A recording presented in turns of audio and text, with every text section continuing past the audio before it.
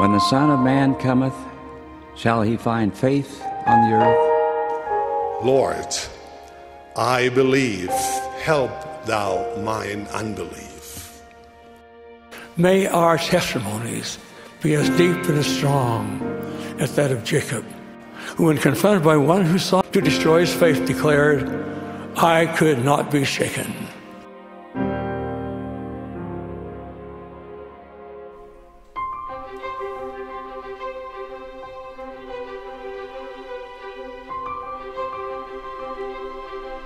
Getting past that cliffhanger, as you turn the page from Acts 25 to Acts 26, we get to see Paul's self defense and his defense of the faith he held so dear.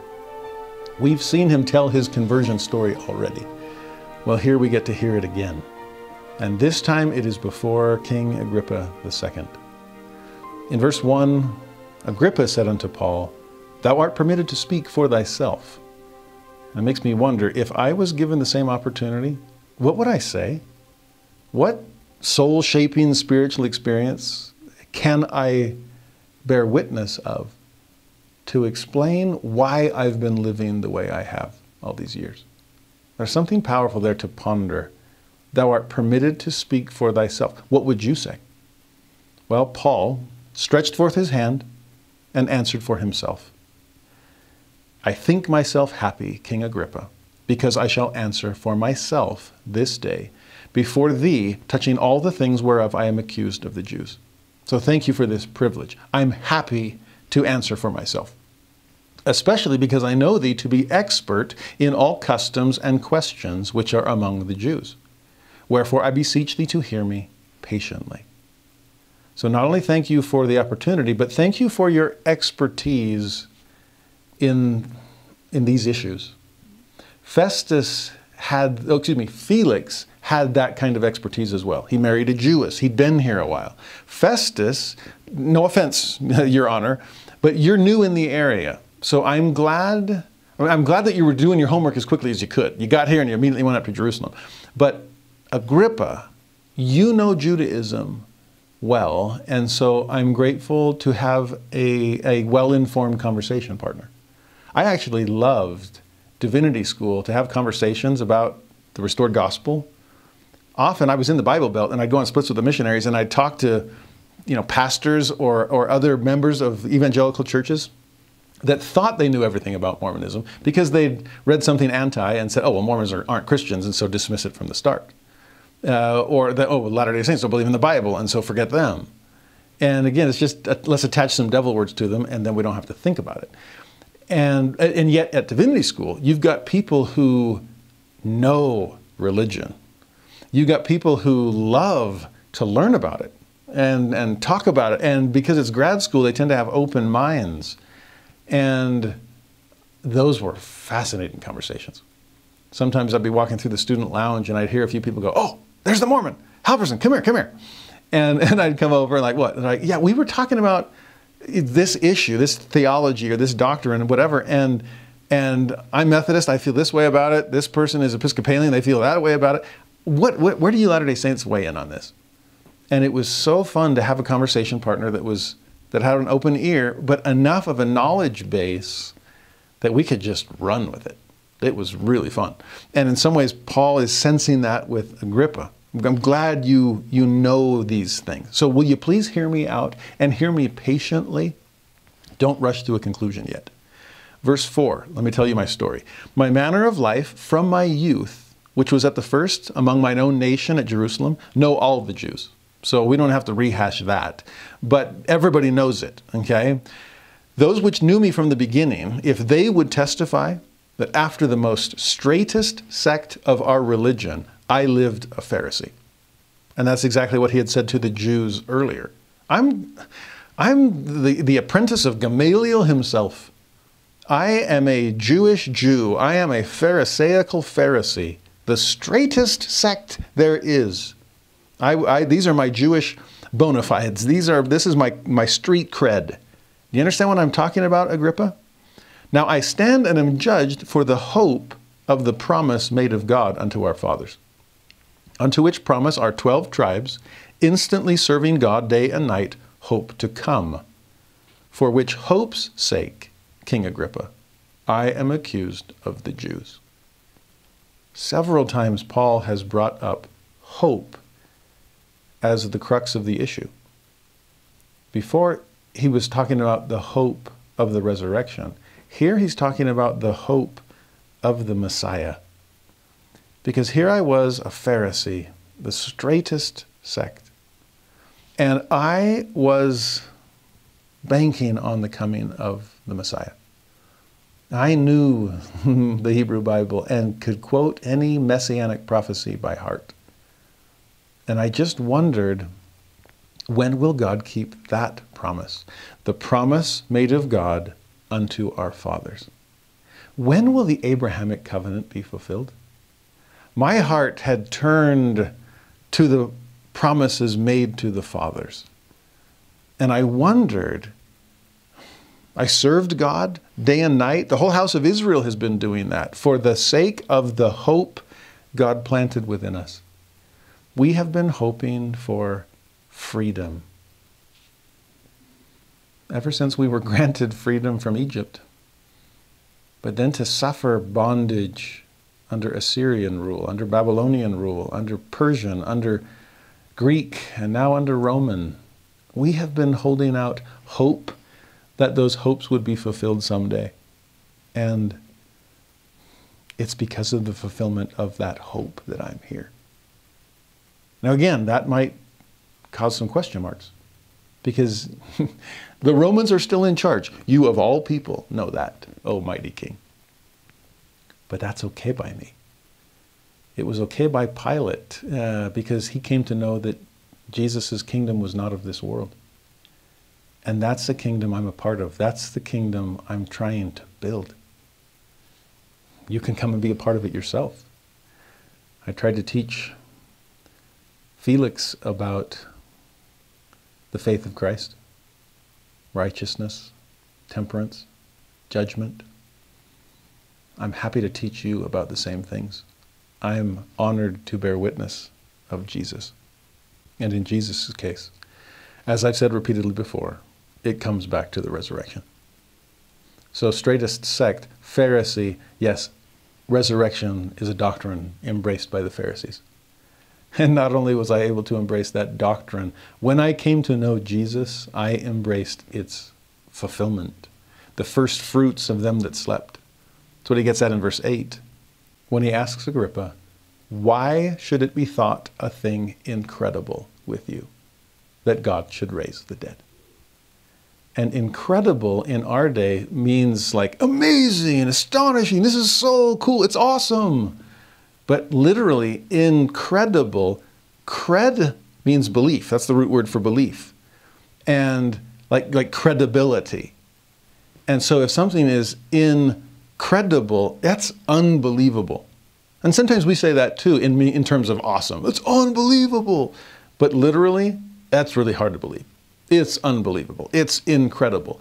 But for Paul, as a Pharisee growing up with belief in the resurrection, and then, like I said, seeing its fulfillment, Agrippa, let me pose the question to you. Why is that so unbelievable?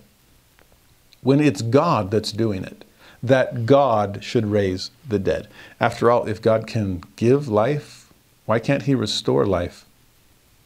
If God can create, why can't He recreate?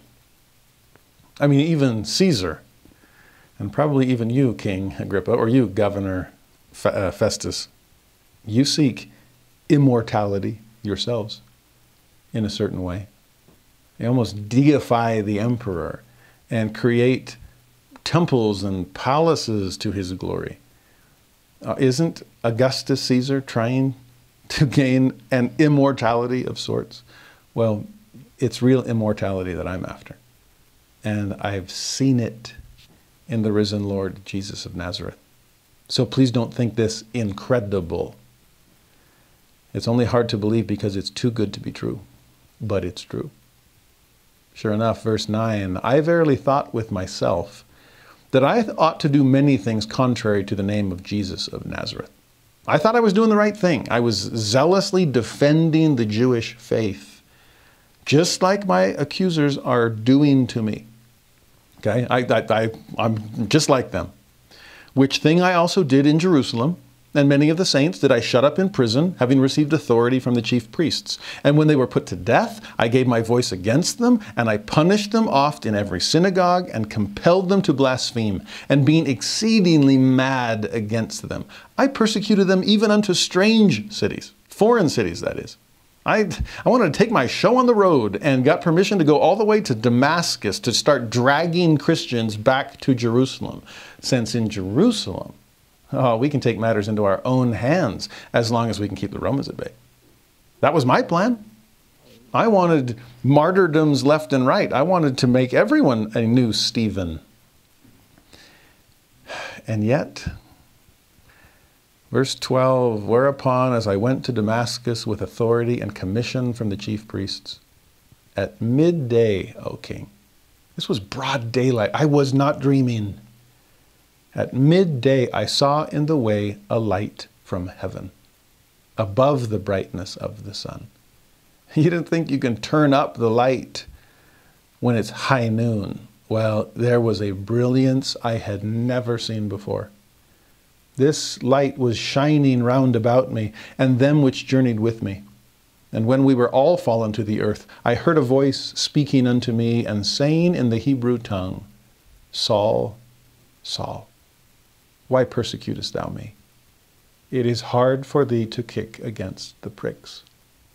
And I said, Who art thou, Lord? And he said, I am Jesus, whom thou persecutest.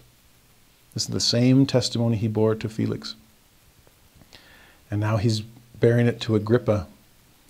Once I saw the light from heaven, everything changed. And I pray you'll see that light from heaven and change as well. So, verse 16 What did this Jesus, whom I persecuted, say to me? He said, Rise and stand upon thy feet, for I have appeared unto thee for this purpose to make thee a minister and a witness, both of these things which thou hast seen. So, things from your current present that will quickly become your past. Bear witness of those things, minister about those things, but also of the things in the which I will appear unto thee. This is not my, this is your first vision, not your last. I will appear unto thee. These are things from the future, and I want you to bear witness of those once you learn them also. Delivering thee from the people and from the Gentiles, unto whom now I send thee, to open their eyes and to turn them from darkness to light, and from the power of Satan unto God, that they may receive forgiveness of sins and inheritance among them which are sanctified by faith that is in me. That's your mission, Paul. It's a mission of mercy, it's a mission to others. And in a way, it will be a, reflection of your own experience. Gaining eyes to see, and ears to hear, and a heart to feel. Having light dawn upon you, experiencing the power of God in your own life. And then go forth and make sure everyone else does too. Open their eyes turn them from darkness to light. Help them overcome, break out of the power of Satan, come unto God so they can be forgiven. That's what this whole thing's for. It boils down to faith and repentance. Faith in Christ, leading us to repentance, which brings the forgiveness of sins. Thus, Jesus can sanctify us. That's what he did for Paul. It's what he'll do for Agrippa or Festus or Felix or Claudius Lysias or even Ananias, thou whited wall, you really can be washed clean if you'll just open your eyes. I love every time Paul tells his story. We see slight variations each time, which I find beautiful. Is it based on the audience? You need to hear this part. Is it based on Paul's own recollection? Oh, yes, this I need to say. People that are up in arms over the multiple accounts of the first vision, sadly, are usually up in arms over the multiple accounts of Paul's experience as well. Well, not all the case. If you're not every time. If you're skeptical across the board, then yes, you you throw them, you lump them all together as liars and deceivers. And and Joseph Smith felt that. Yeah, you you criticized Paul. You thought he was crazy. You've said the same thing about me. Fine. You want to put me in Paul's boat? Bring it on. Because like Paul, he knew it, and he knew that God knew it, and he could not deny it. And I feel the same myself. I love Joseph Smith's personal connection to Paul that he brought up at times when he was being persecuted. So, remembering different things from his experience with Jesus and with the Father, totally fine. There were different audiences and different parts of the experience that he remembered. They all come together into one beautiful whole. And it's life changing once we see the light ourselves. Well, in verse 19, whereupon, O King Agrippa, I was not disobedient unto the heavenly vision. I mean, would you be? To see the veil part, the heavens open, the Lord descend. I'm not going to disobey that. And so I've been following orders ever since. How did I do it? I showed first unto them of Damascus and at Jerusalem and throughout all the coasts of Judea and then to the Gentiles that they should repent and turn to God and do works meet for repentance. He basically just said repent three different times. repent and then turn to God. Remember, turn means to repent and do works meet for repentance. Show the evidence of that repentance by how you live ever after. For these causes, the Jews caught me in the temple and went about to kill me. That's, that's the whole reason they're up in arms against me. I said before that the core of Paul's message was resurrection, and it is. But also the core of Paul's message is repentance. Because that's what he's crying. That's what he that's what we need to do in order to change. Once we've seen the light and have faith in Christ, then it naturally moves us towards the change of heart and the change of action that evidences it. So please turn. Men and brethren, what shall we do? You haven't even asked the question yet, but let me give you the answer. Repent, believe, be baptized, receive the Holy Ghost. The doctrine of Christ is being offered to even you. Will you take it? In some ways, it's ingenious of Paul to emphasize those two aspects of resurrection and repentance because they're, they're so similar. You remember when we studied Acts chapter 9 and saw the repentance of Paul, but then ended the chapter with the, well, resurrection of sorts, the raising of Tabitha. And we talked about that those are juxtaposed because it's the same story. That repentance is a newness of life, it is a resurrection before the resurrection. And so to testify of those things hand in hand, Paul continues his testimony in verse 22. Having therefore obtained help of God. I continue unto this day. And it's been over a decade since that happened. I have been continuing, obeying, serving, testifying, witnessing, both to small and great, saying none other things than those which the prophets and Moses did say should come. You see, I'm, I'm still a Jew of the strictest sect. I'm still honoring the law because I've seen its fulfillment. I'm bearing witness of that. And here's my witness that Christ should suffer, and that he should be the first that should rise from the dead, and should show light unto the people and to the Gentiles. Both Jew and Gentile alike are being invited into that light. This is what he had taught earlier that I believe in the Bible, the Hebrew Bible. I recognize the fulfillment of its messianic prophecies. Jesus was not disqualified by the crucifixion. If anything, that's what qualified him. Because in succumbing to death, he could then conquer death, not only for himself, but for us all. That's what I've been bearing witness of. The crucifixion and resurrection of Jesus was all part of the Father's plan and the Father's promise to our fathers Abraham, Isaac, and Jacob, none of the blessings of the Abrahamic covenant could come without the resurrection. Without Christ's power over sin and death, then what's the point of a promised land or pro- prosperity and posterity? What's the purpose of priesthood and the blessings that it entails? We can't receive any of those at least not permanently. So, yes, this is the message. This is the inheritance that I am trying to pass forward. And then, verse 24 As he thus spake for himself, Festus said with a loud voice, he's kind of speaking out of turn since he's been outranked. Agrippa is in town. But Festus speaks up loudly, wanting everyone to hear Paul, thou art beside thyself. Oh, much learning doth make thee mad. And that's what Joseph Smith brought up. That people accused Paul of being crazy. Well, they're accusing me of the same kind of insanity. I do wonder, though, if Festus is almost trying to make up an excuse for Paul. I'm not going to say that you're lying, I'm just going to say that you're crazy. Uh, non compos mentis, I believe, is the, the Latin term, that you're not mentally capable. This is the insanity plea. I mean, it's a court case after all. And maybe Festus is trying to come to the rescue of Paul. Like, this sounds crazy to me. Somebody dying and then rising from the dead, and then, yeah, okay, okay, Paul, sure.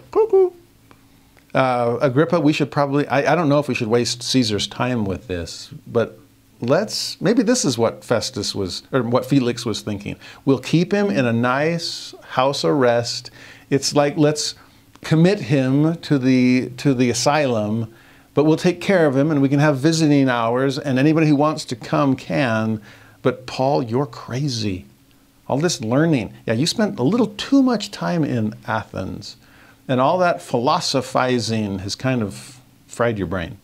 There's no way this stuff it could be true. But in self defense, Paul says, I am not mad, most noble Festus. And that most noble might be Paul giving Festus the benefit of the doubt for what Festus had done to give Paul the benefit of the doubt. Thank you for calling into question my sanity in hopes of getting me off the hook. But mm, thanks, but no thanks. I'm not insane, and I'm not going to use an insanity plea to get out of things. I'm here for a purpose, and my purpose will lead me to Rome. So I'm in complete control of my own thoughts. I am not mad most noble Festus. But speak forth the words of truth and soberness. And soberness suggests that, that sanity as well. Remember back in the day of Pentecost when they accused Peter of being drunk? And that's why they're babbling these crazy things and it sounds like foreign languages. And he's like, What are you talking about? It's like 9 a.m. Uh, nobody's drunk here. We're all sober. And Paul is preaching words of truth and soberness. And then he points to the king's own knowledge of, of Judaism and these kinds of issues. He says, For the king knoweth of these things, before whom also I speak freely. For I am persuaded that none of these things are hidden from him. For this thing was not done in a corner. That is such a powerful phrase. This was not done in a corner. We're not trying to keep this out of the light of day. If anything, we're trying to bring it out into the light. We want the world to see so we're not keeping it in a corner. We are going to the four corners of the earth, trying to share the gospel of Jesus Christ. You know this, Agrippa. How can you not? So it's not just the Jewish things that you're aware of, it's the Christian things that you're coming to know. This movement is moving fast and it's on everybody's radar. There are Jews and Gentiles streaming into the kingdom everywhere we go. I have been on not one, not two, but three missions all across Israel and Syria and into Cilicia and Asia Minor and beyond into Macedonia and down into Greece, the island of Cyprus, you name it. I've, I've probably been there or somewhere close. These things are not done in a corner. And the world can bear witness of the effect of the gospel of Jesus Christ. this moment actually reminds me of the great scene that Elder Packer talked about, where he was being sent by Harold B. Lee on a very difficult assignment, and it was daunting to him. He asked President Lee for advice, and President, President Lee's advice was classic. He just said to an overwhelmed Boyd K. Packer, just remember it isn't 1830 anymore, and there aren't just six of us. I love that. This kingdom is rolling forth across the earth. And by the millions, there are Latter day Saints far and wide living the gospel of Jesus Christ. This thing, the restoration, is not done in a corner. And so have some confidence, Elder Packer. And he did. There are much more than six of us, that's for sure. Verse 27, Paul then asks the pointed question King Agrippa, believest thou the prophets? And then he answers it before Agrippa even has time to. I know that thou believest. Agrippa had some Jewish roots as well, and so I do believe that you believe. In fact, I know you do. And then Agrippa, finally speaking for himself, said unto Paul, Almost thou persuadest me to be a Christian. Oh, you are so close. I, I do know so much of what you're saying. I have heard about these things. And yes, these are words of truth. These are words of soberness. I, I can't help but be convinced by them to a point. It's just getting past that point. It's like Apollos. You know in part, but don't you want to know in full? And Agrippa is almost there. To which Paul says, Oh, I would to God that not only thou, but also all that hear me this day were both almost and altogether such as I am, except these bonds. An amazing statement, kind of closing arguments on Paul's part. Oh, Agrippa, you're so close. I wish you were more than close. I wish you were all the way there. I wish you were just like me because I used to be just like you. I was almost persuaded. Well, I was persuaded that I had the truth in Judaism, and Judaism is almost Christianity as far as Paul is concerned. It is Christ- it is Judaism. It's Judaism fulfilled. And I became almost and then altogether convinced when I saw that light. And ah, I wish you would follow the same path. I wish you were like me. Not just you, but everyone here. I wish you were all just like me. Not the bonds. I don't want you to have physical bonds, but I recognize your spiritual ones. And I came out of mine. The Savior delivered me. He's trying to deliver you. If you would only become not only almost persuaded, but altogether convinced and converted that Jesus is the Christ. He is the just one. He is the Holy One of Israel, the living Lord, the conqueror of sin and death, the light of the world. Do you see him? Years ago, when Cecil B. DeMille made the movie The Ten Commandments, the famous one with Charlton Heston, he wanted to test it on a very religious audience. And where better to go to find one than Salt Lake City, Utah? And so this amazing Hollywood director wanted to premiere the movie in Salt Lake, or at least preview it among the saints, to get a sense how do religious how would religious people feel? Does Charlton Heston really look like Moses? I think so. Uh, the the great Latter Day Saint painter Arnold Friberg was the the costume designer, so he already had some connections with Latter Day Saints through Friberg, and and so he came to Salt Lake and sh- showed the movie, and everybody loved it. And he ended up becoming a close friend of David O. McKay, president of the church, the real modern Moses. Uh, if he were a younger man, he should have cast him rather than Charlton Heston. But uh, Cecil B. DeMille spoke at BYU in a big devotional. I mean, he became a, a great friend of the Latter day Saints, and the, and the saints, including the saint in chief, President McKay, befriended him. At one point, Cecil B. DeMille said, to David O. McKay, knowing his book of Acts, chapter 26, he said to President McKay, Almost thou persuadest me to be a Latter day Saint. Oh, being here, knowing the goodness of the saints, seeing the evidence of your faith, meeting a man who claims to be a modern Moses, a living prophet. And who am I to deny him? He does not seem crazy. He seems to preach words of truth and soberness. And oh, there's a few things holding me back, but man, President McKay, I'm this close. I love that story. I would love it even more if he were more than an almost, if he were an altogether. And which will we be? Have I almost repented or am I altogether repenting? Do I almost have faith in Christ or am I altogether converted to his gospel? Am I almost temple worthy or am I altogether ready to enter the house of the Lord? Almost served a mission or altogether ready to dive in and make a difference? In any aspect of your discipleship, ponder those terms and see in which direction you're heading. Almost or all together. And then the court case ends, as does this chapter, verse 30. When he had thus spoken, the king rose up, and the governor, and Bernice, and they that sat with him. And when they were gone aside, so out of the hearing of the crowd, they talked between themselves, saying, This man doeth nothing worthy of death or of bonds. It's like this guy's obviously innocent. He's done nothing wrong. I'm, I'm not. I'm almost a Christian, but I'm altogether convinced of this Christian's innocence. Okay, he's done nothing worthy of death or even bonds. We've we've held him under house arrest far too long as it is.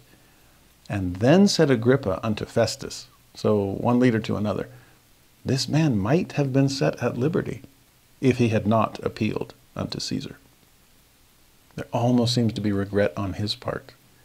Oh, if only he hadn't called out parley. We could have handled things ourselves and we could have pronounced him innocent. And who cares what the, the Jewish mob is clamoring for back home in Jerusalem? No, innocent man. But we have to we have to honor his wishes. Which, to be honest, is fine with Paul. Can you picture him kind of wandering over to that side of the room and there they are trying to get behind closed doors or just out of the out of earshot of the multitude and he's kind of leaning over and they're whispering like this guy's totally innocent. And paul's like yeah yeah i agree. I mean zip the lip. If only he hadn't said i appeal to caesar we could let him go right now and you picture paul going but i but i want to go to see. oh, yeah, I, sorry i'll stop interrupting but do you get a sense this is where i'm destined to go Jesus told me that. And the same one that called me back from Damascus is urging me forward toward, toward Rome. We're not going to call this the fourth mission, but in some ways it is one. It is his journey to Rome. And that is what we see in chapter 27 and chapter 28. And it's exactly what Paul wanted. He set his face steadfastly he was trying to get there. It's been years I've been chomping at the bit, trying to get out of Caesarea so I can go see Caesar himself. So, chapter 27 opens with this voyage underway. It's a fascinating story here, especially once you see past the literal and into the symbolic. So, let's put those glasses on and try to see some application and some relevance in our own journeys toward whatever destiny the Lord would have in mind. Chapter 27, verse 1 And when it was determined that we should sail into Italy, and Paul has never been that far west. Greece was as far to the west as he had gone. He crossed the Aegean, but he never passed the Adriatic. So, are we really going finally all the way to Italy? Well, yes. But when it was determined that they would, they delivered Paul and certain other prisoners unto one named Julius, a centurion of Augustus's band. So, yes, he's in charge of his hundred men, but of Augustus's band? Wow, he must be an important centurion. And entering into a ship of Adramyttium, fun word to say, we launched, meaning to sail by the coasts of Asia, and one Aristarchus, a Macedonian of Thessalonica, being with us.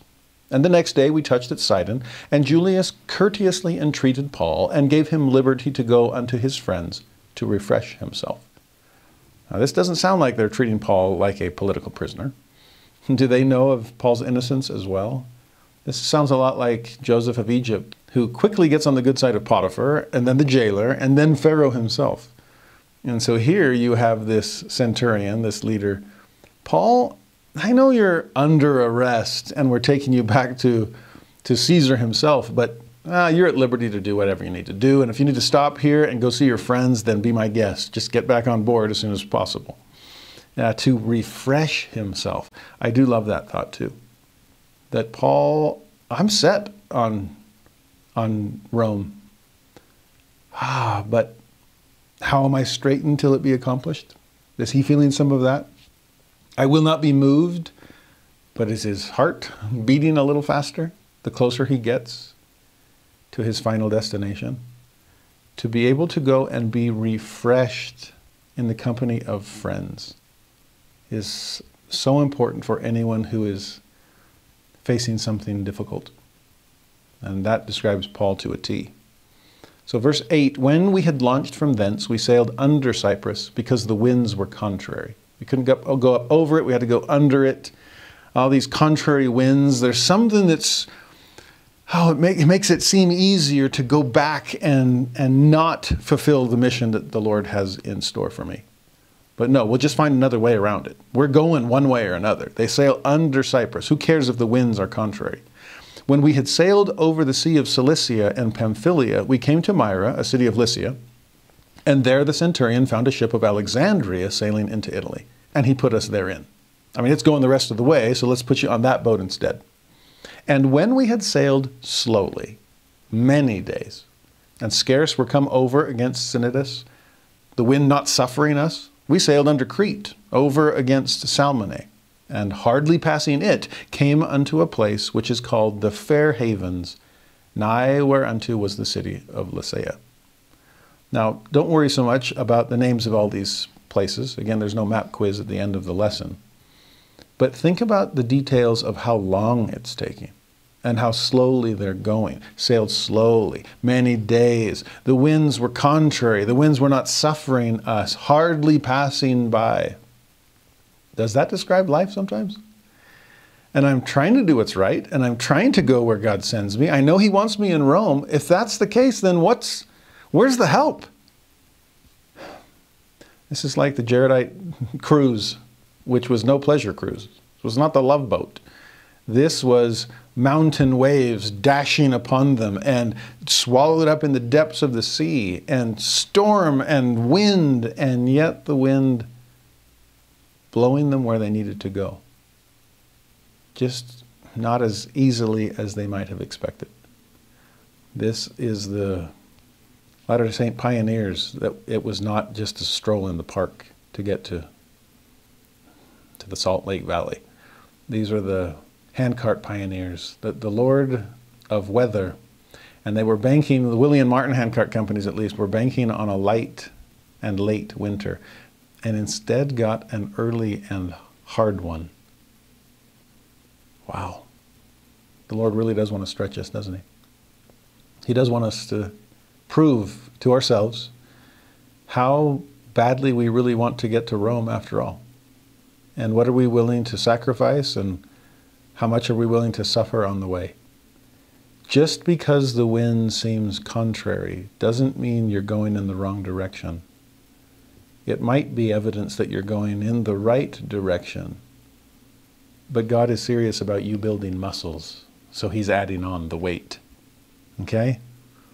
Keep that in mind as they wait here in a place that's called Fair Havens.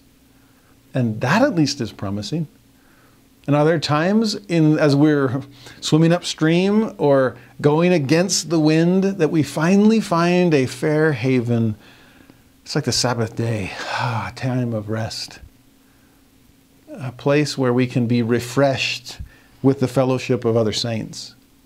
There they are at Fair Havens, and verse 9 comes. Now, when much time was spent, and so it's taking forever, and why can't we go? And when sailing was now dangerous, because the fast was now already past, Paul admonished them and said unto them, Sirs, I perceive that this voyage will be with hurt and much damage, not only of the lading and ship, but also of our lives. So it, it is not wise for us to continue at this point. We need to stay here in fair havens. And there are times when prophets tell us to march forward, and times where, he, where the prophets tell us to hold back. Times when the Liahona says go, and times when the Liahona says stop. Times when the Spirit pushes us forward, and times it reins us in and tells us not to preach, right? Paul had that experience earlier in Asia Minor. And so now we need to stay here because the time is spent and it's dangerous to sail at this point of the year. When it says the fast was now already past, the fast is most likely referring to the Jewish Day of Atonement, which was a day of fasting and prayer, of mourning, of repentance, atonement, right? Good, good symbol for all of this. It's a fall festival, and in the fall and winter, that's when the storms really pick up in that part of the Mediterranean. And the sailors, those ancient sailors, knew it well. And so would, would not sail during that time period. And they would kind of hunker down and find a fair haven to stay in. And that's exactly what Paul is recommending. I wonder sometimes, let's switch the metaphor a little bit and think about our own journeys and at times where it's hard because it because we are going in the wrong direction. And does the prophet ever tell us, can you stop what you're doing and stay here and try to get your bearings? Look up through the, the darkness and find the North Star and redirect yourself. Repent of your sins. Because right now the time is has been spent on lesser things and you've got to change your ways. When it says the sailing is now dangerous, if you keep going forward on this path, it's a path to self destruction, especially if the fast is past. Times of worship and repentance, the Day of Atonement. No, I'm not saying we ever pass the Day of Atonement. Every day is covered by the atonement of Jesus Christ. But to get to a point in our own minds where we start wondering, am I beyond the redeeming reach of Jesus Christ? Is the day of atonement behind me?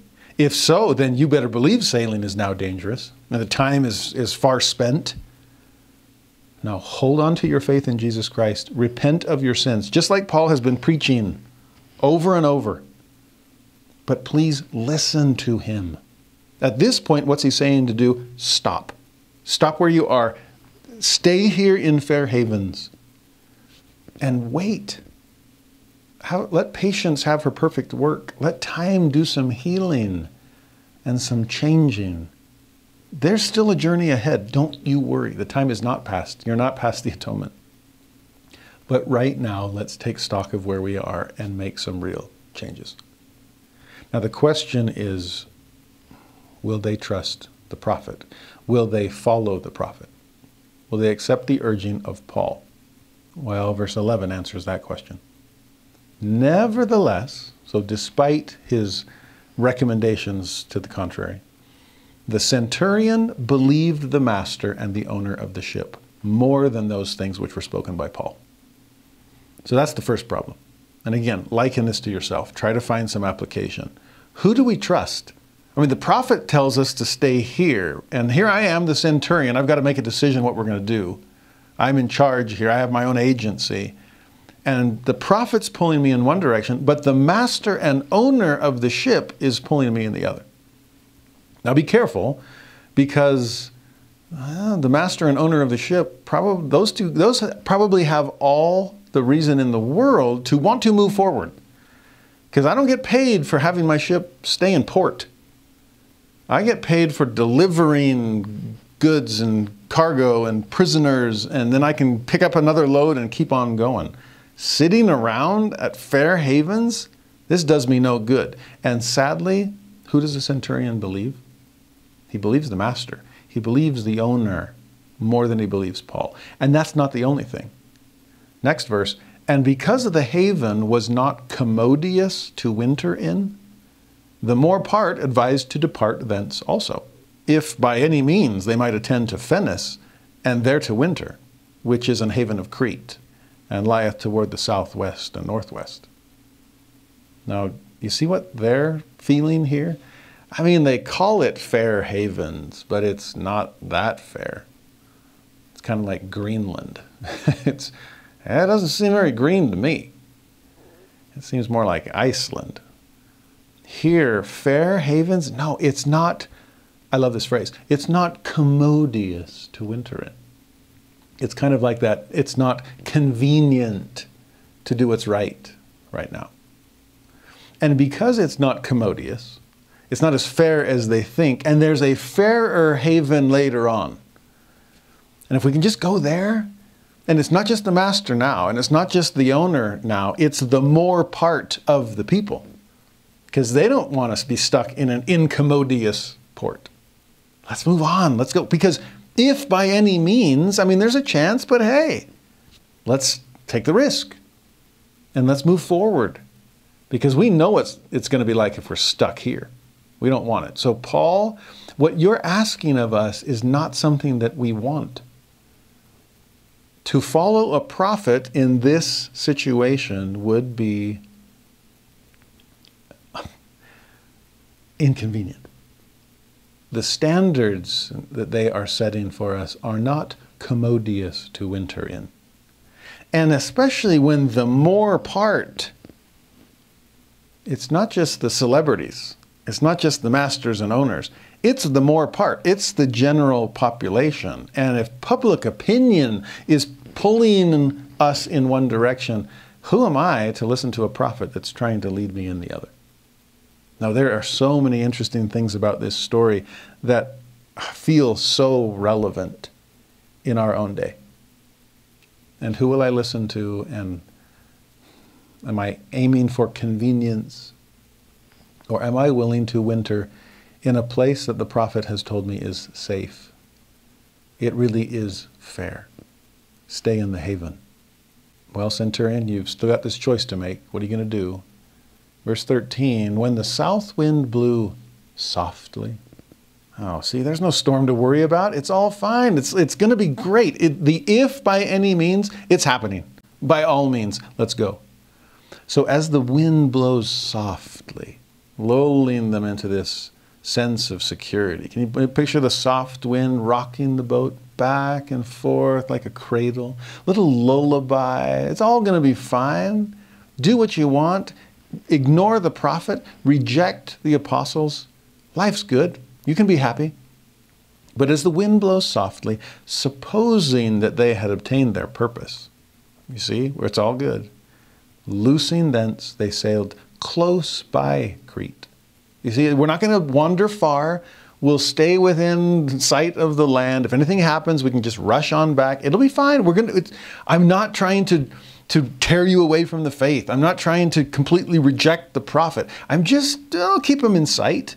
Uh, but we're going to do things our way, and everything seems to be pointing towards our purpose. It's, it's fine. The prophet's just overreacting, where nothing could possibly happen to us. But next verse. But not long after, and sure enough, it usually doesn't take long for the consequences to come. Not long after, there arose against it a tempestuous wind. And that's no longer the softly blowing wind we saw a verse ago. No, it's tempestuous. It's called Euroclydon. I don't know if I pronounce that anywhere near the right way, but this word combines the Greek word for east wind and another word that either means north wind. Here comes these winds coming to clash. No wonder it's tempestuous. Or perhaps another word meaning surging waves. And that sounds like a typhoon. That sounds like a hurricane going on. Tempestuous wind. Oh, that's what falls and winters are known for in this part of the Mediterranean. What were we thinking?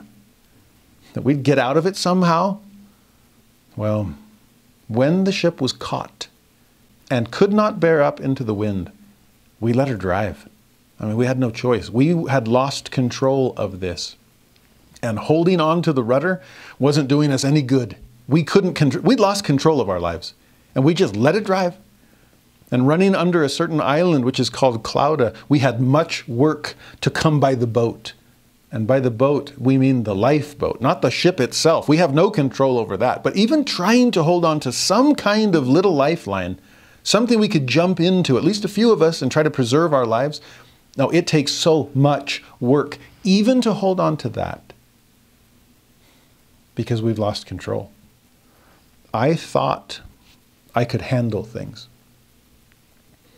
When the prophet warned me about the word of wisdom, oh, I thought a little alcohol here, or a little tobacco there, or an occasional recreational drug. And yet now I find myself, my, find myself in the gall of bitterness and the bonds of iniquity. I find myself in addiction, needing help to find recovery. That's the world that my wife and son work in. And to see the much work that it takes to hold on to some kind of lifeboat, and many of them won't even hold on to that because they just let it drive. They're caught and they can't bear up, and their life is no longer their own. That can be true of breaking the law of chastity. It can be true of any time we disregard the prophet because the south wind is blowing softly. Because the standards they're requiring are incommodious. Because the master and the owner and the more part of the people are promising us easier ways. Oh, it was only easy for a time. That's what the prodigal son learned. And it wasn't until he hit rock bottom that he came to himself. Well, this ship, is it about to hit rock bottom? Because there's no coming back from, from that kind of a shipwreck. What's going to happen? Verse 17, which when they had taken up, so they hoisted up the lifeboat, they used helps, better word there would be ropes, undergirding the ship now, this is really wild to picture this. What, what they're doing is they're taking these ropes and, and passing them underneath the, the bow of the ship, getting it down around the hull. So, in hopes that somehow these additional ropes will help hold the planks of the ship together. I mean, that would make me really nervous if I saw that happening on a cruise. Like, what are you doing all those ropes? Uh, don't, don't ask. Uh, but here we are trying to keep the ship from falling apart beneath us. Yeah, tempestuous wind, I'd say so. Now, fearing lest they should fall into the quicksands. And a better translation for that would be sandbars, but waters too shallow to sail in. Afraid of that, they strake sail, and so were driven. What they mean by that is they threw out the anchor, hoping to slow down their drift. Now let's, let's strike the sail, get that down.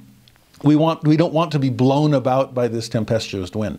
Let's throw out the anchors and hopes it will just slow us down as we're drifting toward these sandbars. Because if we fall upon them and it, it can break the hull of our ship to the point that no number of ropes would help hold it together. Even that's not going to be enough. And so the next verse, we being exceedingly tossed with a tempest, the next day they lightened the ship and the third day, we cast out with our own hands the tackling of the ship. So things that we were holding on to because we thought they might come in handy later on. More ropes to, to tie the boat together. But no, anything weighing us down has got to go, even the tackling of the ship. And so they throw it overboard and keep going. When neither sun nor stars in many days appeared, and no small tempest lay on us, all hope that we should be saved was then taken away.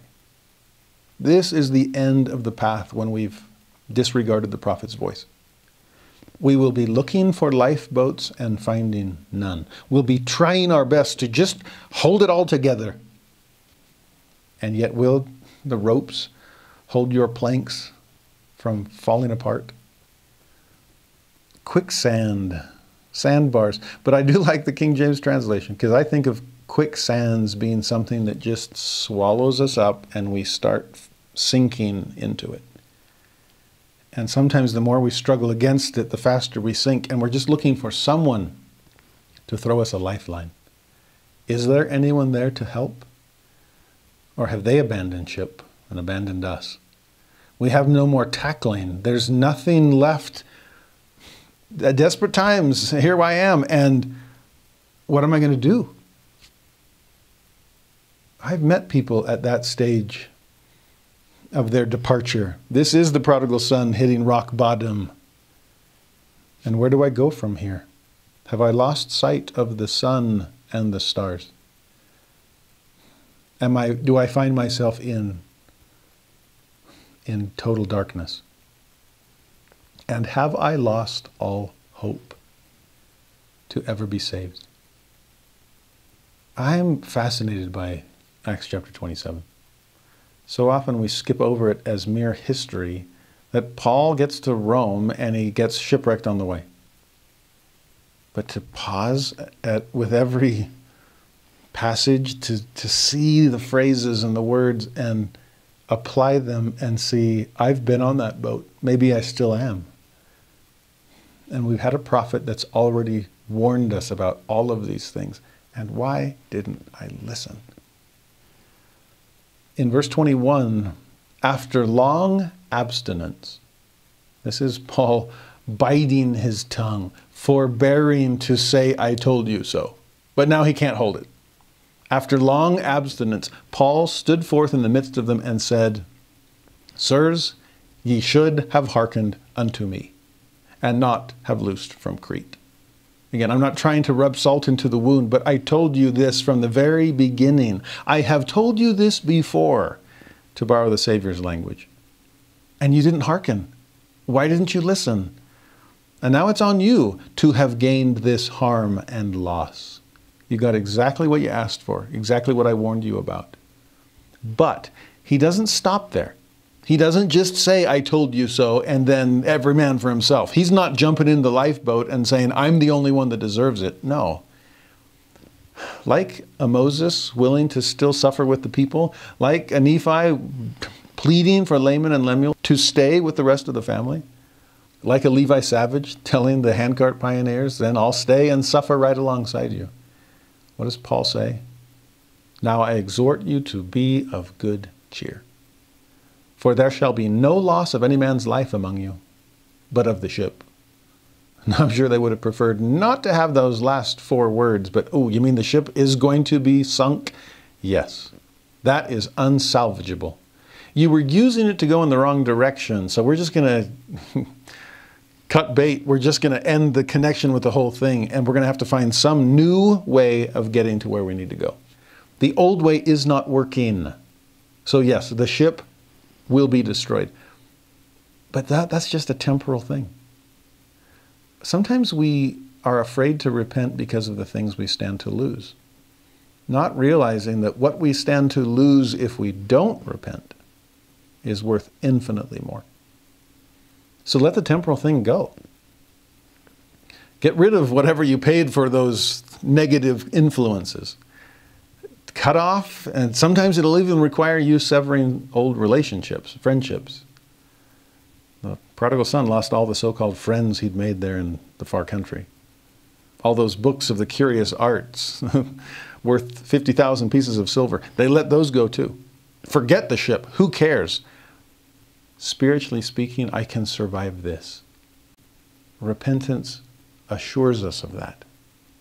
If we'll start listening to the prophet, if we'll start hearkening to their words, if we'll begin the change, then who cares about the ship? You will survive the experience. And that's what Paul is promising. But how does he know? How, well, how did he know that it wasn't wise to to keep sailing. And how does he know that we're going to survive? Verse 23, he tells them, For there stood by me this night the angel of God, whose I am and whom I serve. This angel and I work for the same master. And this angel reassured me, saying, Fear not, Paul. Thou must be brought before Caesar. And lo, God hath given thee all them that sail with thee. Wherefore, sirs, be of good cheer, for I believe God, that it shall be even as it was told me. Howbeit we must be cast upon a certain island. So yeah, we're gonna oh, we're gonna crash land. We are going to barely survive this experience, but we will survive it. God Himself promised me that. And not only did He promise me, He promised you through me. That's a really interesting phrase. God hath given thee all them that sail with thee. It's almost this package deal that God holds on to his prophets. I've got the prophets back because the prophets got my back. Uh, I will not leave you comfortless. I will be there with you every step of the way. Paul has received that kind of reassurance from the Lord multiple times through his missions. And he knows he's got to get to, to, to Rome. He knows that he has to be there, so we know he's going to get there. And so I know I'm going to survive this shipwreck somehow. This storm will not drag me down. But again, he's not jumping in the lifeboat with an every man for himself kind of a kind of an approach. What about the people? What about everyone else here? Both fellow prisoners, because there's some others going to Rome that are guilty, as well as my captors. I care about them too. This is like him with the jailer back during that earthquake. I don't want him to take his own life. I don't want these to lose their own life. And it's amazing to me that the Lord reassures the prophet by saying, if they'll trust in you, then that's the next best thing to trusting in me. And as long as they're with you, then, then they're with me, and I'll save you all. It makes me want to be a follower of prophets and apostles of God it makes me want to stay with them. So the, the same Lord who looks after them will look after me.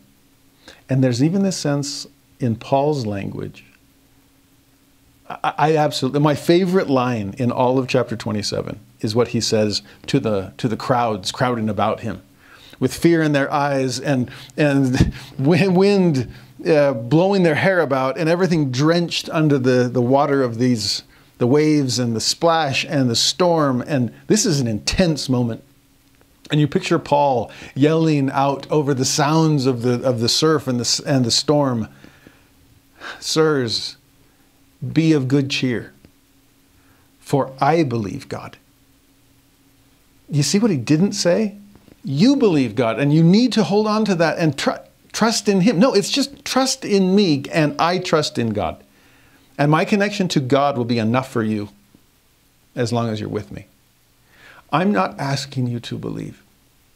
I'm asking you to trust in my belief. That there's something profound there. It makes me wonder is it enough? Well, actually, I know that it is enough. Uh, this is Doctrine and Covenants 46.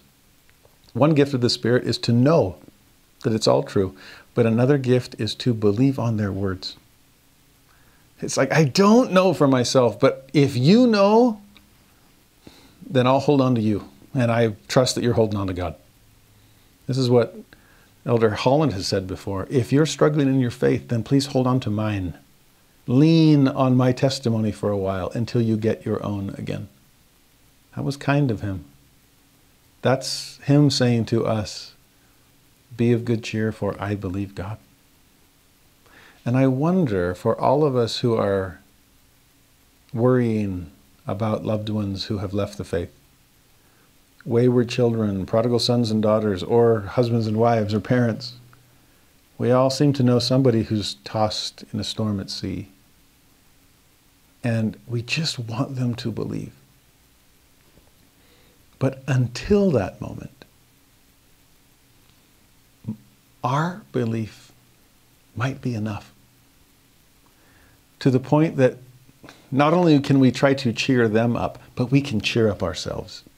Because I believe in a God who I serve, whose I am. And He will care not only for me, but He'll care for the people I care about. I've said to people before that as long as you hold to the iron rod firmly with one hand, then you can hold to others compassionately with the other. And as long as you don't get pulled apart, and as long as you don't let go of either one, then that way, that wayward saint, that struggling soul, will never be too far away from the path that leads to the tree of life. Hold on, but especially hold on to your faith. As long as I believe, then those that I love aren't too far from belief. And maybe they will trust in my trust and have faith in my faith until they can gain faith of their own. this is a profound moment, and I think we need to settle it into our hearts and inscribe it on the fleshy tables of our souls that the world can be of good cheer because we believe. From there, where does the journey take us? Verse 27 When the 14th night was come. Wait, Paul, didn't you promise it was going to get better, that we were going to be okay? Well, yeah. It's been two weeks now. I know. Wait. Sometimes the promise is slow in coming, but it always comes. I do wonder though, are they running out of rations? Do they are they worrying about how long this is going to go? Do they still trust Paul? And does Paul still trust God? Well, we know the answer to that question. Anyway, after these 14, the 14th night has come and gone, as we were driven up and down in Adria, about midnight. So here's our moment of greatest darkness. The shipmen deemed that they drew near to some country. They couldn't even see it. Remember, they hadn't seen sun and stars in days, but they're getting a sense. I wonder if we're getting close to some country. Could they hear something, the sound of the crash on the, on the rocks? I don't know. But as they're wondering this, they sounded. They tried to get a sense of how deep the water is. They found it 20 fathoms. And when they had gone a little further, they sounded again and found it 15 fathoms. Okay, so the water is getting shallower. We are getting closer and closer to land. Now, is this going to be quicksands? Is this a sandbar? Is this going to be crashed up against the rocks? Are we approaching our death or our deliverance? I don't know. But Paul believes, and I'll trust in him. Now, fearing lest we should have fallen upon rocks, so that is a concern, they cast four anchors out of the stern and wished for the day have you ever had such a dark night that you just wished for the day? Have you ever tried as hard as you can to stop where you're going and you just hope that there you have enough anchors out there to keep you from crashing against the the rocks of consequence? This is an intense moment in darkness, but praying for the light to come. Verse 30 And as the shipmen were about to flee out of the ship, so these are not the passengers, this is the crew. These are people who know the ship and the sea and the storm better than anyone. This is like Peter and James and John on their own boat with Jesus saying, Carest thou not that we perish? And they're the ones freaking out, thinking they're going to die. These shipmen we did the sounding. It's getting shallower. We're about to crash against the rocks. We, it's every man for himself, not the captain going down with the ship anymore. Forget that. The shipmen were about to flee out of the ship when they had let down the boat into the sea, under color as though they would have cast anchors out of the foreship. Now, stop there. Think what they're doing. They're getting into the lifeboat and trying not to alarm the rest of the passengers. They're pretending to be going to the bow to be able to let down some more anchors. You remember the four they already let out? Those were from the stern, the back of the boat. So it's like, don't worry, we, we still trust Paul. You should too. We're just going to get in this lifeboat, but it's not really a lifeboat here. It's just a, a chance for us to be able to move forward toward the, the bow of the boat where we're going to cast out some additional anchors. Yeah, yeah, yeah. That's what we're doing. There, those, when it says under color as though, that just means they're faking it. They're pretending to be, we're doing something to help save us all, when really what they're doing is trying to save themselves at the expense of everyone still on the ship. Well, Paul sees through that, and notice what he says. He said to the centurion and to the soldiers, Except these abide in the ship, ye cannot be saved.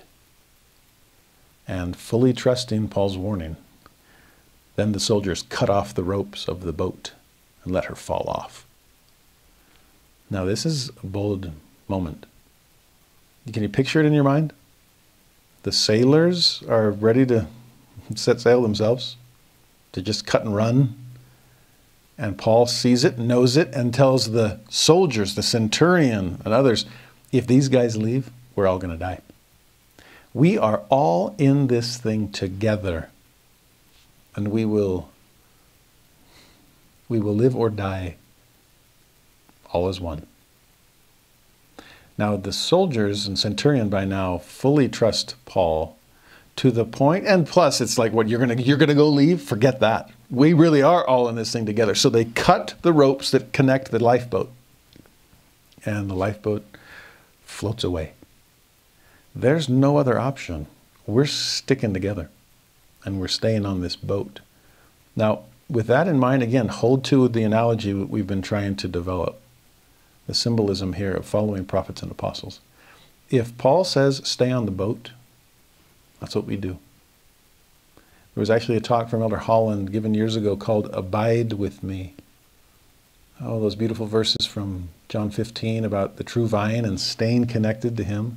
Well, Elder Holland shifts the metaphor from John 15 to what we now see as Acts 27 because he talks about a ship. He calls it the good ship Zion. And you better believe that the apostles and prophets are there at the helm. Well, actually, the Lord's at the helm, but these are the sailors aboard. Here we are, the passengers, but this is what Elder Holland said about it. When we join the Church of Jesus Christ of Latter day Saints, we board the good ship Zion and sail with her wherever she goes until she comes into that millennial port. We stay in the boat, he said, through squalls and stills, through storms and sunburns, because that is the only way to the promised land. My friends, do you remember when Cortez came to the New World and many of his men still had one foot back in the Old World? And didn't want to fully commend themselves to this new life because they they missed the old. It was more commodious to winter in. It was more comfortable and convenient. And so what did Cortez do? He destroyed his ships. And all of a sudden, the men were highly motivated to make the new world work. That's what Paul's demanding here. And that's what the soldiers are ensuring here. No more lifeboats. There's no other option. We will stay in the good ship and go wherever it takes us? Do we have the same level of belief? Do we trust in the Lord and His servants? Or do we at least trust in their trust? They believe. We can be of good cheer. So, verse 33 While the day was coming on, Paul besought them all to take meat, saying, This day is the fourteenth day that ye have tarried and continued fasting, having taken nothing. Wherefore I pray you to take some meat, for this is for your health. I'm trying to keep you alive here, okay? And I don't know, however much longer we have to stay, it's not going to be long. We can start eating again. We don't have to ration the food. So eat up. For there shall not an hair fall from the head of any of you. And when he had thus spoken, he took bread and gave thanks to God in presence of them all. And when he had broken it, he began to eat. So Paul is here leading by example. He's showing his own faith by his works. He's putting his money where his mouth is, or at least his food where his mouth is. He's eating, breaking a fast that was kind of a forced fast because we don't have any idea if we'll ever get to land again. And if we're just stuck out here in a lifeboat or on a sinking ship, will we have food to survive until somebody finds us? And good luck anybody finding us because it's the winter. And most people are smart enough not to sail. Well, Paul is telling them the famine is over. Here's the bread of life. Here's the meat, which is for him to do the will of his Father in heaven. Eat up, and he's eating himself. Now, verse 36 then were they all of good cheer. It's amazing what, a little food will do to you when you're hungry. They also took some meat, and we were in all in the ship 200 threescore and 16 souls. Wow, 276 people? That's a lot of people, which means a lot of food. But they've been storing it, stockpiling it, waiting, and now it's time to eat. Now, eating it, though, suggests, I guess, we must be close to deliverance. Otherwise, it doesn't do us much good to be eating the food that we should be rationing. Well, it's even beyond just the food they're eating. Notice what happens next. When they had eaten enough, they lightened the ship now, they'd already done that before. They cast out the tackling, they cast out anything that was unnecessary. But food was necessary. Not anymore, though. They lightened the ship and cast out the wheat into the sea. They trusted they wouldn't need it any longer. They trusted that God would provide. Oh, Paul's influence is bearing fruit. And sure enough, when it was day, So now we have light instead of darkness. Man, it's been a while since we've seen sun or stars. Now we finally see sun. The storm is over. But still, they knew not the land. But that no longer mattered to them. At least there's land ahead. Oh, they were willing to move forward in faith. They're going to venture into the unknown. It's better than the storm at sea we've been on. So, come what may, let's go to land. And as they're trying to find their way to some safe harbor, they discovered a certain creek with a shore into the which they were minded, if it were possible, to thrust in the ship. Now, it's one thing to think of some deep river, uh, and if we can just steer in there, then we'll have something deep enough for the ship. That's not quite what they're seeing. Creek with a shore, elsewhere is translated a bay with a beach. And if it's a beach, what they're looking, what they're hoping for is just to run aground, if that's possible. That's the phrase they use. If it were possible to thrust in the ship. It's not a matter of docking, it's a matter of crash landing on a sandy beach. So hopefully we can at least get off the boat and get on shore. If it's a deserted island, well, it's better than drowning at sea. We'll figure something out. I mean, Paul's with us, which means God is too. Now, that's the plan, if we can get to that kind of a place. And in verse 40, when they had taken up the anchors, and the Greek actually suggests that they cut the ropes and left the anchors in the sea. So it's not taking them up into the ship so we can use them again if we choose to. It's like, nope, we really are commending ourselves to God. So cut the ropes of the lifeboat, already did that. Now cut the ropes to the anchors. Okay, here goes nothing.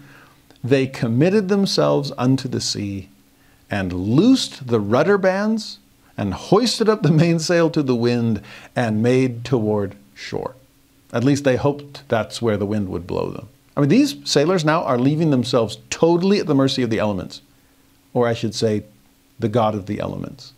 They are commending their own lives to God. We're not even going to hold the rudder anymore. We loosed the rudder bands. We put the sail back up so that the master of storm and sea and wind and water can do whatever he wants with us. We hope that it's bringing us to some sandy shore, but we trust God come what may. Now, sure enough, falling into a place where two seas met, and some translations render that a sandbar or a shoal or a reef, they ran the ship aground, and the fore parts stuck fast and remained unmovable. But the hinder part was broken with the violence of the waves. So they made it, but just barely. Uh, they're going to survive, but I hope you ran to the front of the ship, believing where you were going, instead of hanging out the back, longing for the old world you left behind. No, if you're all in on this, then come aground to the promised land. The good ship Zion got you there. And now that you're here, there's no need for it which is fascinating if we want to push our analogy still further. The church is meant to be a ship, it's not meant to be our final destination. But it gets us there. Elder Maxwell and President Lee and President Ballard have all talked about the church as scaffolding. And when the scaffolding has served its purpose and built the actual building, then you can take the scaffolding down. We're still building the kingdom of God. We need the church to help us construct it. The day will come, Elder Maxwell said this beautifully, where the church will come down like so much scaffolding, leaving the eternal family. I would even say God's eternal family in place. That's the superstructure we're, we're trying to edify. But in the meantime, thank heaven for the scaffolding. In the meantime, thank heaven for the boat. Stay on board. Will we make it? Yes. Will we barely make it? Sometimes I wonder. Uh, but even if the good ship Zion crash lands on the shores of the celestial kingdom, we barely made it to the millennium, but we're here. The Lord will be there with arms outstretched. I've been waiting for you. Now, what happens here? This fore part of the ship there, unmovable, it's a great word. It sounds unshaken to me. It sounds immovable. I'm here on, on land and I'll never leave it. Verse 42 the soldiers' counsel was to kill the prisoners, lest any of them should swim out and escape. Like, no, no, what, wait, what, seriously? You're like, they survived the, the storm, they survived the shipwreck, and now you're going to kill them just because they had some troubled past? No. Don't worry about that, the centurion says. It says that the centurion, willing to save Paul, so again, here's someone who has risen in the estimation of his captor, another Joseph of Egypt figure. Willing to save Paul, the centurion kept the soldiers from their purpose and commanded that they which could swim should cast themselves first into the sea and get to land. We're right here. I mean, the front of the ship is already stuck into the, the sandbar itself. And the rest, some on boards and some on broken pieces of the ship. And so it came to pass that they escaped all safe to land, just as Paul had promised. Now, we're still not in Rome, but we're getting closer. We'll see when we turn to chapter 28 what island they happened to crash land upon. But from there, it's just a matter of finding another ship and getting to our ultimate destination. Their, Paul's rendezvous in Rome and his chance to bear witness before Caesar of all the things that he'd been bearing witness of all along. For that, we get to our final chapter this week. And our final chapter of the book of Acts. I'm sad to see it go, to be honest. I wish we had more stories. I wish there was an Acts of every apostle, each an individ- each individual one, and see all of Paul's missions and all of John's missions James's was cut short. But what about Matthew? What about the good Judas? What about Bartholomew and Philip and everybody else? I, I wish we could learn more. Instead, we end here with Paul, and we don't even get to see the end of his story. Luke kind of leaves us uh, with another cliffhanger of sorts, as if to suggest Oh, there's much more to this story. I can't keep writing, but you can keep pondering. In fact, you can keep more than reading, you can write more stories of your own. You can pick up where the apostles left off, not just in Rome, but anywhere in the world you might be. Continue to preach their message of the resurrection of Jesus Christ. That's what Paul's going to do here for us, and then pass the baton to us. And so Acts chapter 28, verse 1. When they were escaped, and escape's a good word. Uh, other translations say when they were safely on shore. But if you've ever gotten out of addiction, if you've escaped the consequences of your sin, then escaped is the right word to use here. And sure enough, these people had all escaped. Then they knew that the island was called Melita. We call it Malta. And there it is, south of Italy. We're getting really close. And the barbarous people, and that sounds pretty harsh, the Greek word just means foreigners. They didn't speak Latin, they didn't speak Greek, but they did speak the language of human kindness. And so they do. The barbarous people showed us no little kindness, for they kindled a fire and received us every one because of the present rain and because of the cold.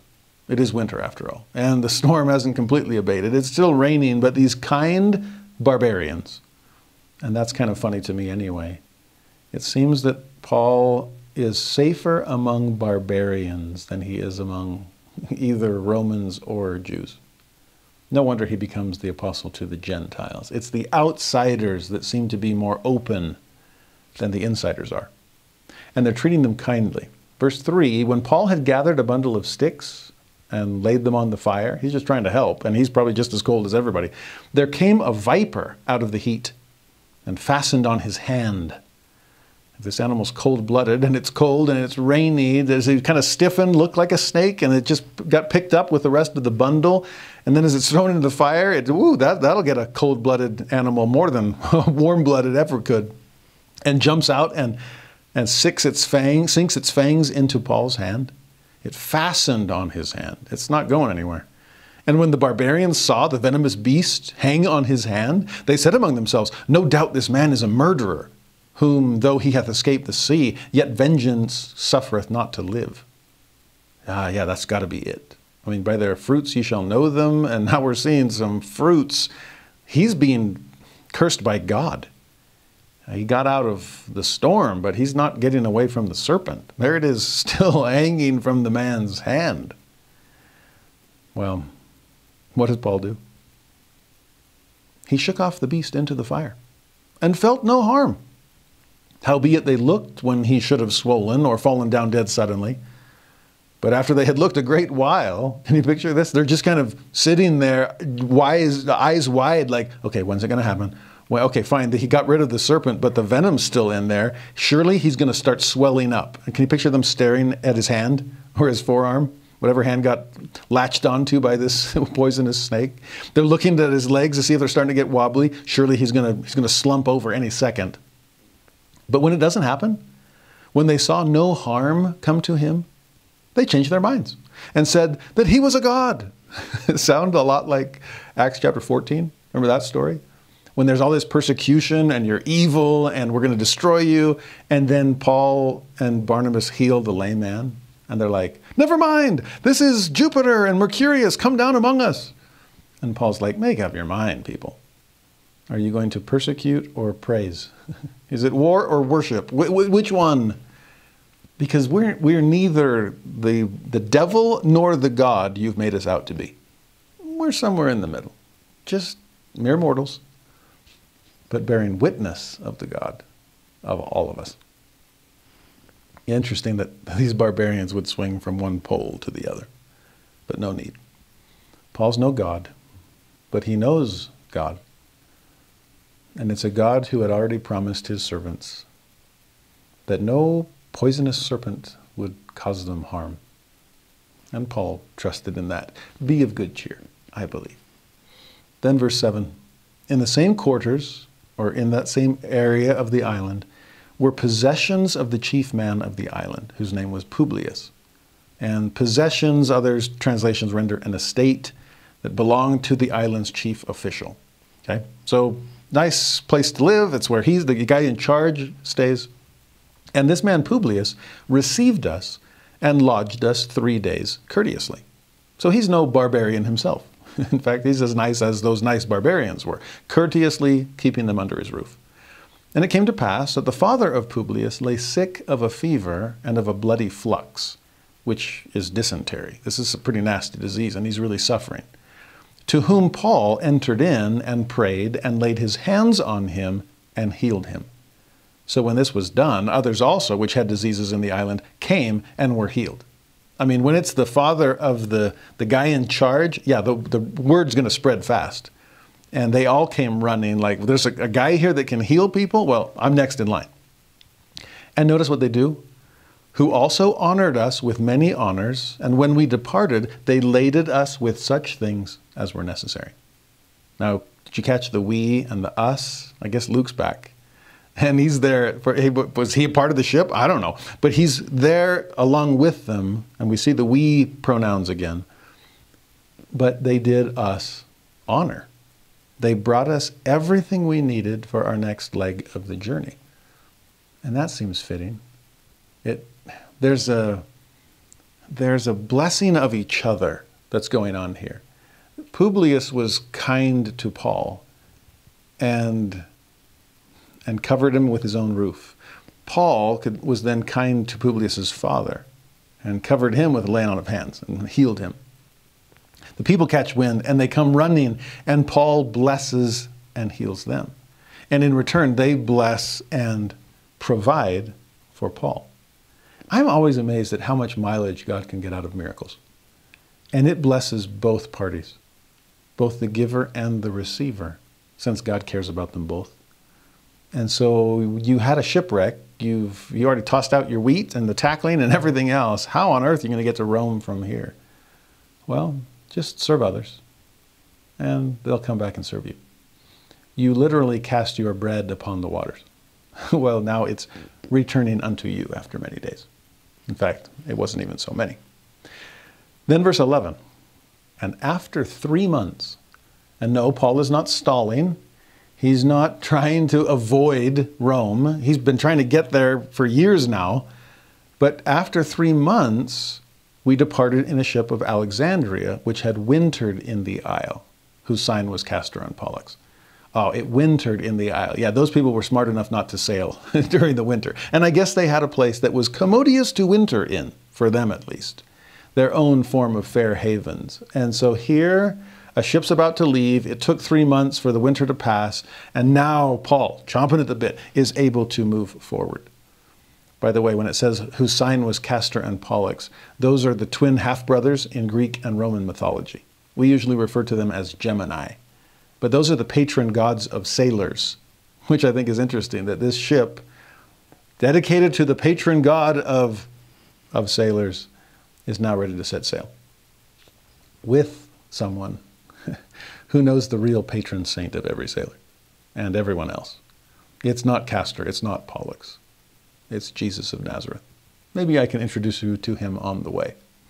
But as they're going, they landed at Syracuse, and we tarried there three days.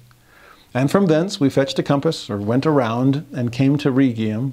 And after one day the south wind blew, and we came the next day to Puteoli, where we found brethren. Wow, you found brethren here? I never even heard of this place. Don't even know if I pronounced it right. But this place, there are brethren, there are Christians everywhere. The gospel really is spreading. Well, yeah, you think? the stone was cut out of the mountain. It is rolling forth to fill the earth. And there, when we found the brethren, we were desired to tarry with them seven days. And so we went toward Rome. Oh, you're almost there, Paul. But can you wait a week and rest up and receive some more refreshment from fellow saints? People that believe in you and might be a little surprised that you're planning on going all the way to Rome. I mean, we're pretty close, but we want to stay away from Caesar if at all possible. It's, it's rough to be Christian here. Paul doesn't, Paul cannot be moved, so he's moving forward. Sure enough, verse 15, from thence, when the brethren heard of us, they came to meet us as far as Appii Forum and the three taverns. And those are miles and miles from Rome, but we're getting closer and closer. Appii Forum is kind of one checkpoint. Three taverns is another checkpoint. And everywhere they go, brethren have heard about it and they come to meet them. Again, saints, encouraging, blessing, so excited to have him come. In fact, whom when Paul saw, he thanked God and took courage. And when we came to Rome, the centurion delivered the prisoners to the captain of the guard, but Paul was suffered to dwell by himself with the soldier that kept him.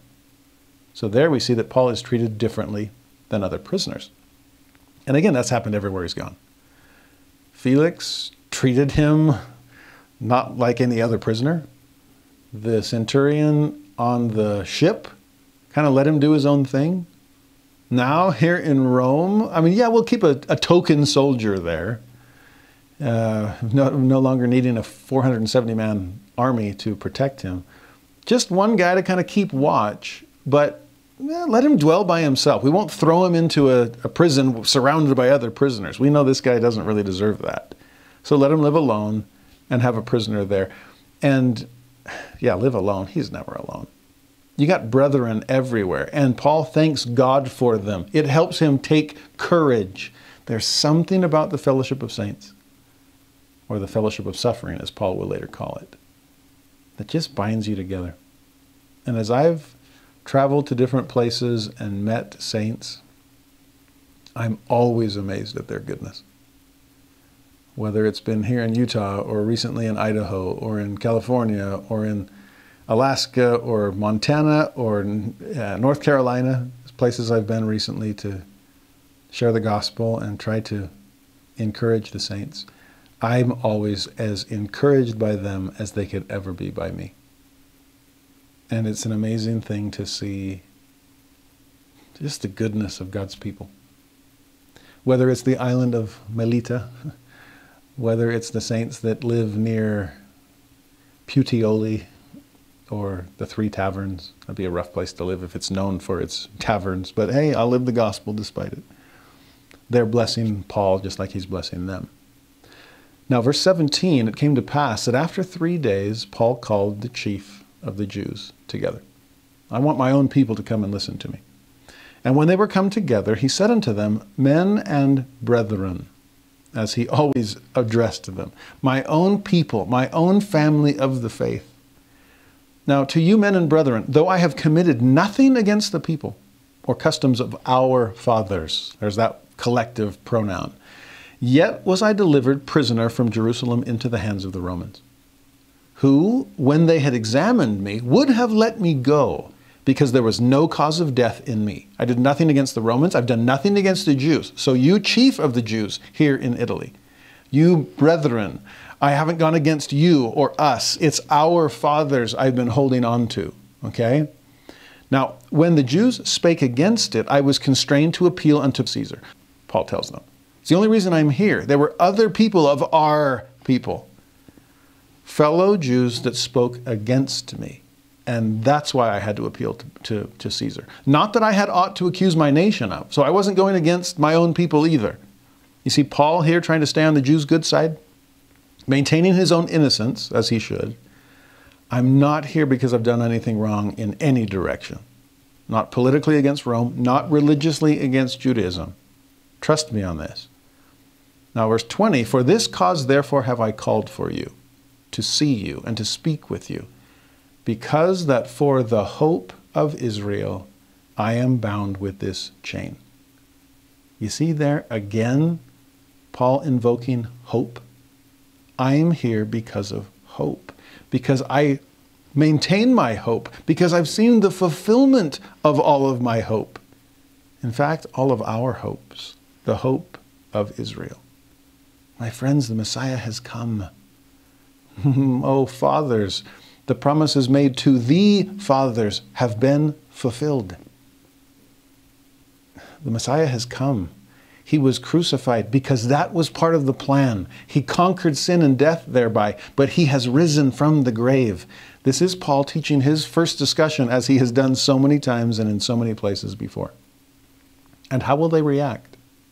They said unto him, We neither received letters out of Judea concerning thee, neither any of the brethren that came showed or spake any harm of thee. So we haven't heard any evil reports about you.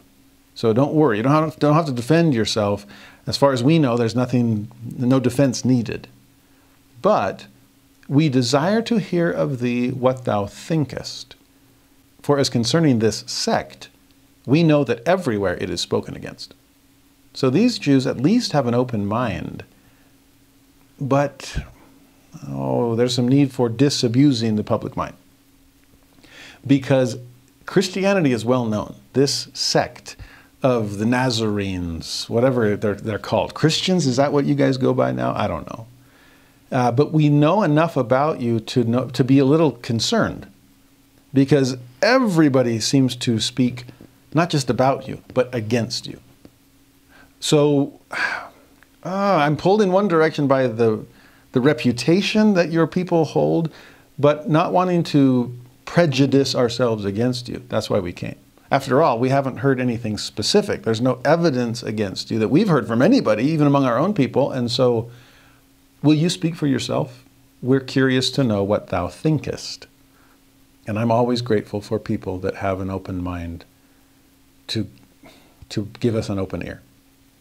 I've heard some things about Latter day Saints but I'd like to know for myself. So let me talk to a Latter day Saint directly. Krister Stendahl, the great bishop of Stockholm, Sweden, former dean of the Harvard Divinity School, and an amazing scholar of religion and interreligious relations. He said among his three rules for inter, or interfaith dialogue, one of them was listen to believers, not detractors. If you want to hear about a faith, ask somebody who believes in it, not someone who never did or once did and no longer does. Okay? And these people are doing that, are paying that respect to Paul. And what is Paul going to say? Verse 23 When they had appointed him a day, there came many to him into his lodging. And of course, there's going to be many. If the world knows about Christianity, if they're spoken against everywhere, then of course there's going to be a lot of curious onlookers. Wait, wait, we got a Christian here among us? Seriously? Well, we've got to hear what, he's gonna, what he has to say. And believe me, Paul has plenty to say. Here's a summary of it. To whom he expounded and testified, and those are two wonderful verbs. Sometimes we expound without testifying, and sometimes we testify without expounding. We've got to do both. We need to explain what we believe, and then we need to let people know that we do, in fact, believe it. Okay? So he does both. And what does he expound and testify of? First, the kingdom of God. Second, persuading them concerning Jesus. And how does he do it? Both out of the law of Moses and out of the prophets. And how long does he do it? From morning till evening. And how do they react to it? Some believed the things which were spoken, and some believed not. That's a pretty quick summary of a mission, but it describes it well. Here he is teaching and testifying about the kingdom of God. It's here, it's among us, it's within us. And they're like, What? What are you talking about? The Hebrew Bible keeps telling us, promising us of a, mess- a messianic age. And we're still under the Roman thumb. Believe us, we're here in Rome. Oh no, Jesus came and brought the kingdom with him. I know what you're, what you're thinking. Uh, so many people assumed the same thing. Go back and reread John chapter 6 and the bread of life discourse, and I'm not that kind of Messiah, but don't leave me as a result. I'm here to conquer the things that, that no one can overcome. Believe me, the Roman Empire, as mighty and immovable as it seems, will come and go. But the kingdom of Christ is here to stay. He's brought the kingdom, and it's changed everything. Let me tell you more about this Jesus. In fact, more than tell, let me persuade you. And I'll go back to our shared source of authority. Remember at Mars Hill, I'll quote Greek and Roman poets and philosophers. Here among the Jews, even in Rome, it's the Bible that you hold to. And so I hold to it too. And I'm a Pharisee, so I know my stuff. I learned from Gamaliel himself. So sit down and let me tell all of you Apolloses the rest of the story. Because all you've got is part. I want you to rejoice in full. And so he teaches them all of these things. Morning till night, some believe, some don't, and that's the way it's always going to be. I hope they don't decide in advance to be an unbeliever even more, I hope we don't decide in advance to leave them in their unbelief. So Paul preaches. Verse 25, we then see where the diverging path will lead the mixed multitude. Remember, some believed, some believed not. And when they agreed not among themselves, they departed. After that Paul had spoken one word, so uh, before you leave, you believers and unbelievers, I just have one last thing to say. What, just one word. And it's going to come from one of the prophets, and you'll know very well of whom I speak. Well spake the Holy Ghost by Isaiah the prophet unto our fathers. So he's quoting Isaiah here. In fact, it's from chapter 6. And this is what the Spirit said to Isaiah Go unto this people and say, Hearing ye shall hear, and shall not understand, and seeing ye shall see, and not perceive. For the heart of this people is waxed gross, fat, that is, so deeply buried underneath this unfeeling layer that God cannot push his hand through to inscribe upon our fleshy tables. No, our heart is grossly fattened.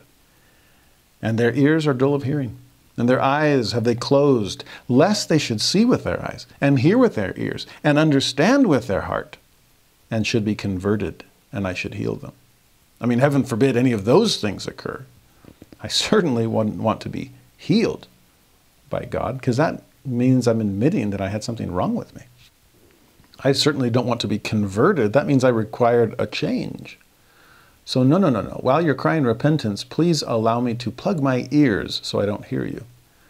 And hold up my heart so that you can't penetrate and touch it. Close my eyes so I can't see. Oh, it's blindness that Paul has been battling this entire time. He knows what blindness feels like. but he also knows what it's like to see the light of the Lord. I love that Paul is quoting Isaiah 6 here. As a mixed multitude is leaving the house where he's staying, self selecting which path will I follow? Will I be one with eyes to see and ears to hear and heart to feel, or will I remain willfully blind and deaf and unfeeling? The choice is theirs, and the choice is ours. Which way will we go?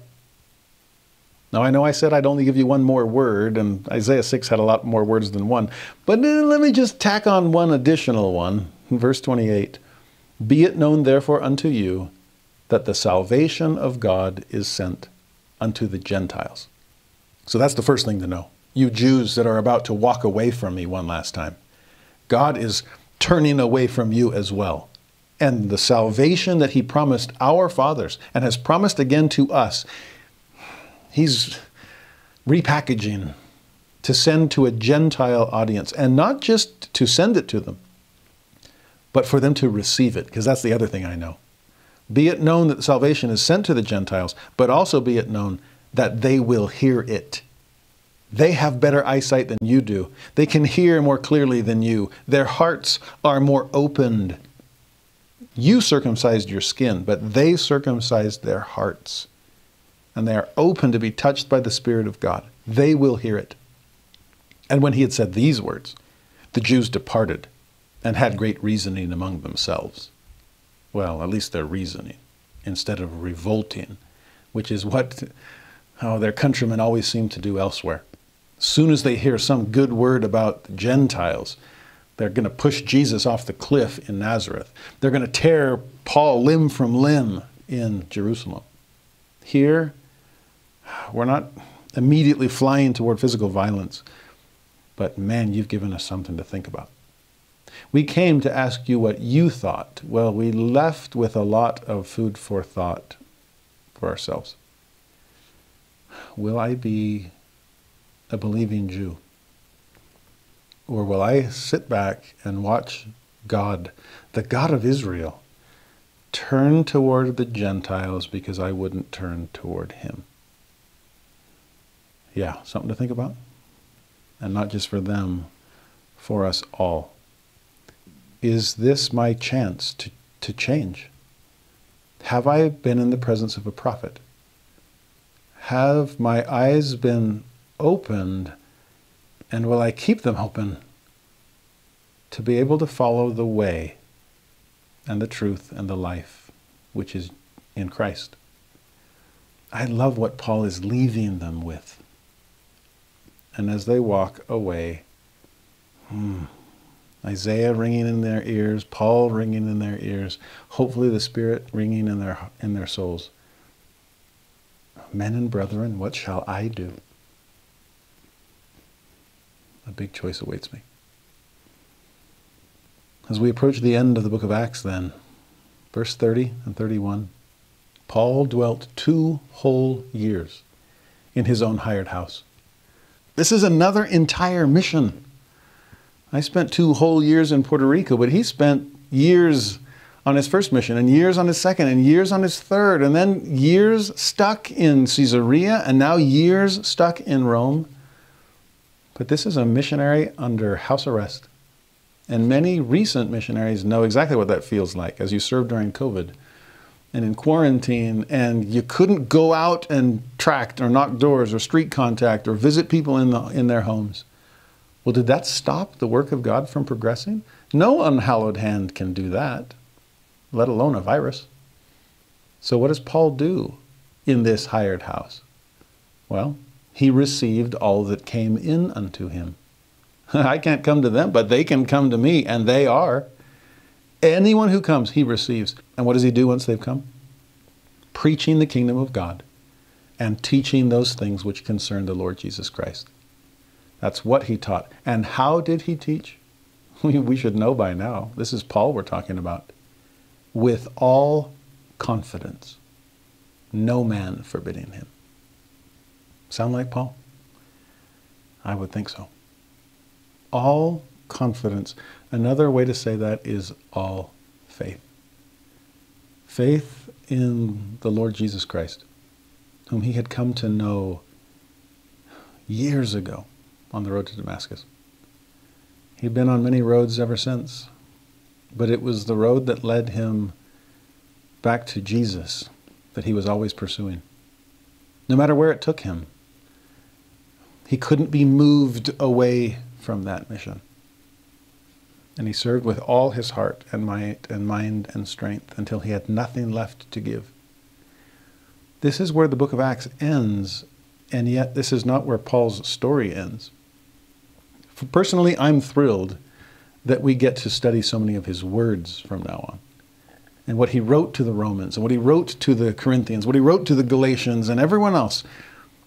There is deep doctrine, there is powerful theology. What he teaches, I hope, I hope you'll stick with me. Because what we're about to do is change gears and move away from history into theology. We're shifting from the church history to the Doctrine and Covenants in a way. We are going to try really hard the next few months to wrap our head around what what Paul taught. And he's a genius. So we're going to have to stretch ourselves to try to understand what he's trying to say. But it's worth the effort believe me here with all confidence no one forbidding him because nobody can stop him he's going to preach and teach and we'll get the chance to be his students from this point forward.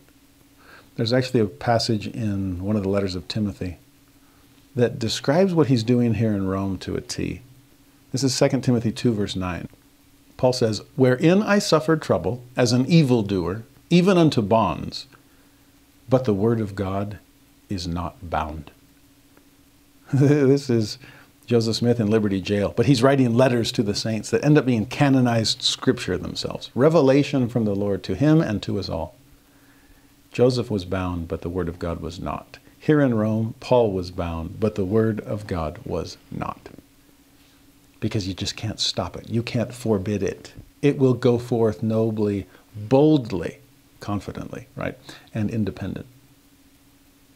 And it sounded in our ears leaving us with the choice to make of what we will do about it. Can you picture yourself there in Paul's house in Rome, surrounded by a crowd that's crowded in because they want to hear him too, but somehow the way Paul preaches, it feels like it's just you and he alone in a room. And he's bearing witness. He's expounding, he's testifying, he's teaching of the kingdom, and he's teaching of the king of that kingdom, namely Jesus Christ. He's helping us understand from scripture and from poetry and from life experience, telling stories and teaching doctrine and helping us come to know for ourselves the glorious gospel of Jesus Christ. It is my prayer that we will accept his message that will stay on board the good ship Zion, that will believe in his belief and trust in his trust and have faith in his faith. Paul will go to the grave with those kinds of words on his lips. Though the Bible does not tell us of his eventual martyrdom, tradition explains that he was most likely killed during the anti Christian persecution of Emperor Nero, somewhere around 62, 63, 64 AD. That he bore witness until his final breath and remained immovable and unshaken throughout it all. Again, as he said to Timothy, from this house imprisonment, and as he says to us all, words that hopefully we will be able to echo I have fought the good fight. I have finished my course. I have kept the faith.